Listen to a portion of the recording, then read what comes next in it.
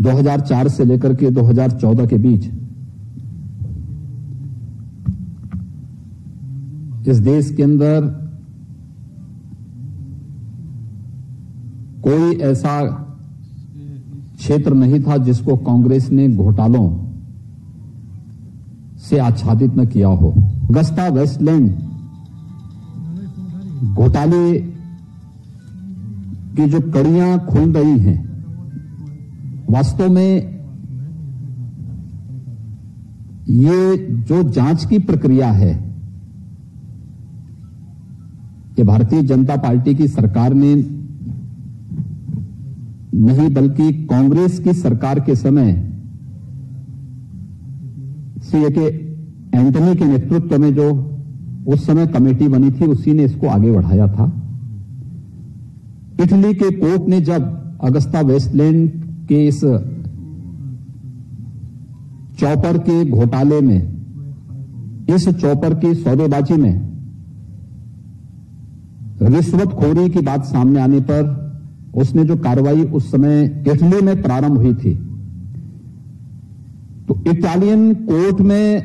के फैसले में स्वयं इस बात का उल्लेख है कि भारत की एक बहुत बड़े राजनीतिक हैसियत की परिवार और उसमें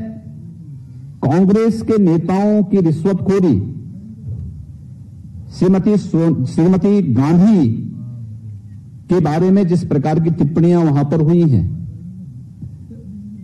उसी में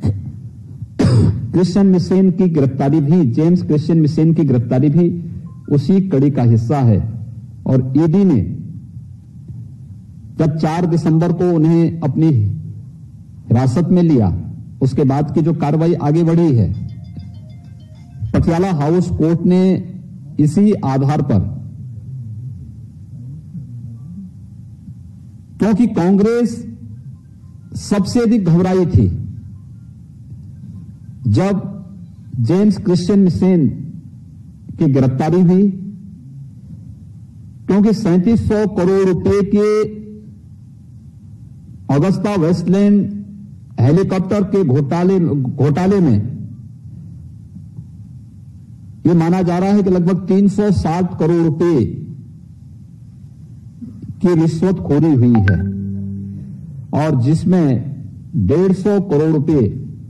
के आसपास कांग्रेस के नेताओं को, कांग्रेस पार्टी को यह पैसा प्राप्त हुआ है। और इसलिए जब जेम्स क्रिश्चियन मिसेल की गिरफ्तारी होती है तो वह सबसे ज़्यादा कांग्रेस घबराई कांग्रेस के आखिर कौन से रिश्ते हैं मिसेल से कि कांग्रेस ने उसके लिए तत्काल अपना अधिवक्ता भेजा? यह चोर की दाढ़ी में तिनका है। यह कहावत कांग्रेस के इस कृत्य से स्पष्ट हो गई।